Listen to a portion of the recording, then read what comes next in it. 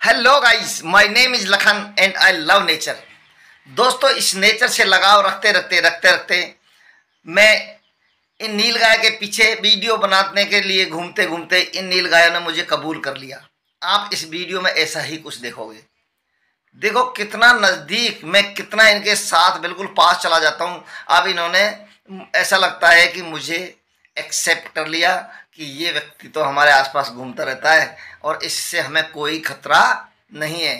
तो ऐसा ही इस वीडियो में देखोगे, मैं देखो, आपको पीछे दिख रहा हूँ नील गाय के। मैं थोड़ा घूम के आया। अब बिल्कुल समझ लो, दस पंद्रह फीट दूर, आराम से मोबाइल से मैं इनके वीडियो बना रहा हूँ। और देखो, इन्होंने ऐसे कबूल कर लिया मुझे। अब ये मुझसे बिल्कुल नहीं डरते, नहीं तो इंसान से डर के बहुत दूर भग जाते हैं। दोस्तों, थोड़ा कैमरा हिल रहा है। लेकिन फिर भी मैं थोड़ा सा स्टेपल करता हूँ। अब देखो ये बिल्कुल जिज्ञासु रूप से मेरी तरफ़ टकटकी लगा के तो देख रहे हैं और सारे के सारे नर हैं जिनके सिर पर पहने पहने सींग हैं।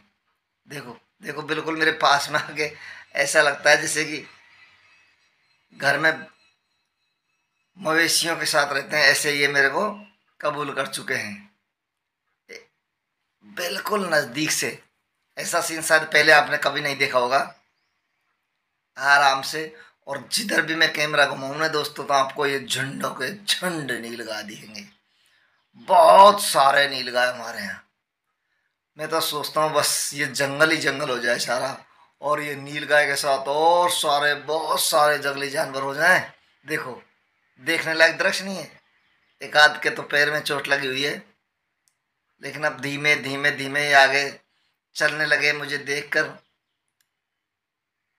थोड़ा बेचैनी तो फिर भी हो ही जाती है जानवर को, क्योंकि ये जानवर पूरी तरह जंगली है और मैं भी अब इनके साथ ऐसे चल रहा हूँ जैसे कि ये सारे के सारे मवेशी मेरे हों। लेकिन बहुत मज़ा आता है इनके आसपास घूमने में। अब तो इनको भी आभास होने लग गया, इनको महसूस होने लग गया।